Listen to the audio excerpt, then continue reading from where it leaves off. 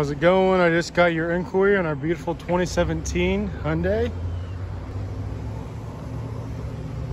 The Sonata has the lighter interior here and sorry, they did just lock up the cars for the night. And it is a little bit dirty. I just wanted to show you a quick walk around before I left here. Car is super nice.